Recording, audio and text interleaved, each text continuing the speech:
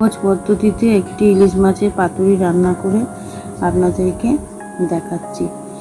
খেয়ে দেখবেন খুব ভালো লাগবে। প্রথমে কলা পাতাগুলো একটু সেদ্ধ করে নিতে হবে। জাস্ট ভাপিয়ে নেওয়া আর কি, সেদ্ধ নয়।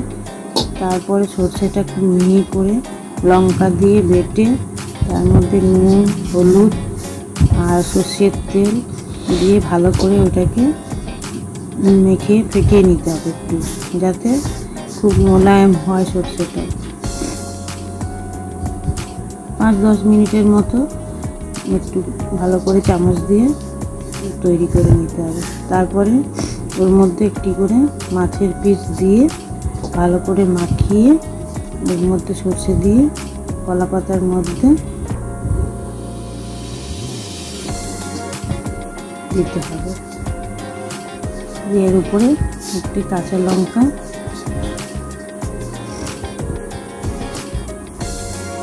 খুব ভালো করে সরষেটা মাখাতে হবে যাতে ভালো লাগে। এরপর একটি করে কাঁচা লঙ্কা দিয়ে তারপরে কলা পাতা দিয়ে প্যাক করতে হবে।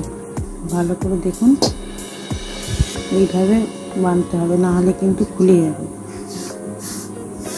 তারপর সুতো দিয়ে এমনি করে মুড়ে নিয়ে আস্তে করে এটা সুতো দিয়ে ভালো করে বানতে হবে। খুব ভালো করে বানিয়ে দিতে হবে। খুলে গেলে কিন্তু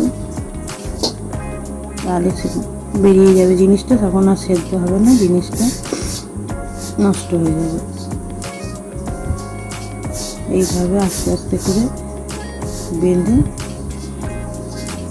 দিয়ে পিছন দিয়ে ঘুরিয়ে একটু বিট দিয়ে দেবেন যাতে খুলে না যায় জিনিসটা। তাহলে কী হবে? জিনিসটা ভালো ভেতরে সেদ্ধ হয়ে যাবে। এই একটা দেখালে আর একটা আপনাদেরকে করে দেখাবো। দেখুন। আর একটা কলা পাতা নিলাম। একটা কলা পাতা নিলাম। এটা এখন সরিয়ে রাখলাম। আর একটা মাছ নিয়ে ওইভাবে সর্ষের মধ্যে কলা পাতার মধ্যে একটা লঙ্কা দিয়ে দিলাম।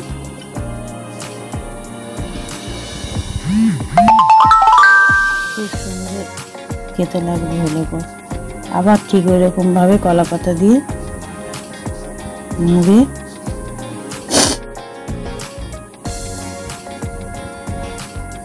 আস্তে আস্তে করে মুড়তে হবে কলা পাতা দিয়ে। যাতে ফেটেও না যায় পাতাটা, অথচ ভালো করে মোড়া হয়।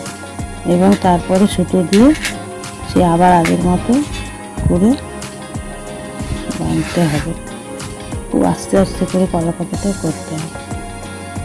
আবার সুতো দিয়ে এরকমভাবে যেমন প্রথমবারে বাঁধলাম এরকম ঘুরিয়ে ঘুরিয়ে ঘুরিয়ে ঘুরিয়ে ঘুরিয়ে ঘুরিয়ে সুতো দিয়ে আবার বেঁধে ভালো করে একটা গিট দিয়ে দিতে হবে যাতে ফুলে না যায়।